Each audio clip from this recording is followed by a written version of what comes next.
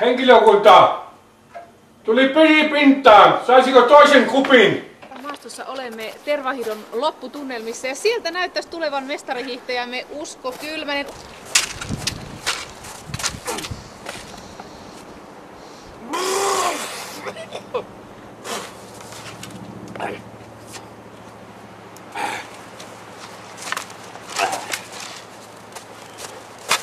Usko, saitko pienen haastattelun pätkän?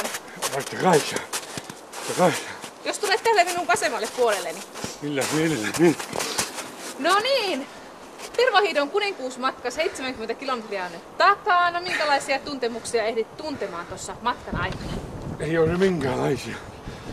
En meidän millään päästä aluksi vauhtiin, mutta kuten luotettava valmentaja, niin Ujas pilvillinen sanoi, että loppumetsällä asti suonet aukeaa.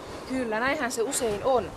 Tuota, mitenkäs sitten, kun olet juuri voittanut tämän Tervahiidon, niin kai jonkinlaisia tavoitteita on tämän huippuuran suhteen ensi talvellekin? Ei minkäänlaisia tavoitteita. Että olen aloittanut hiihtouran juuri kaksi kuukautta sitten ja minä halusin aloittaa huipulla ja lopettaa huipulla. Se, selvä. No, jos teitä tämä huippurheilu ei enää kiinnosta, niin mikä teitä sitten oikein kiinnostaa? No naiset minua kiinnostaa. Etupäässä naiset. Ja tässä yhteydessä haluaisinkin lähettää terveisiä. Uskaltako sanoa tyttöystävilleni Unelmalle, Ulpulle ja Ullalle. Joo, terveys nyt varmaankin perille. No, onko jotakin muita tavoitteita sitten naisten lisäksi, jos tämä huippurheiluura ei teitä enää kiinnosta?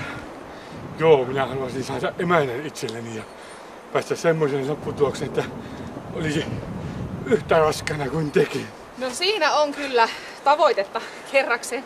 No entäpä kun tämän tervahiidon historiassa nyt aivan ensimmäistä kertaa on tämä doping-testauskäytäntö. Miltä se teistä tuntuu? Ei haittaa minua mitenkään. Päättelemme lähetyksen tätä hiukkavaarasta nyt. Onneksi olkoon vielä oikein kovasti tästä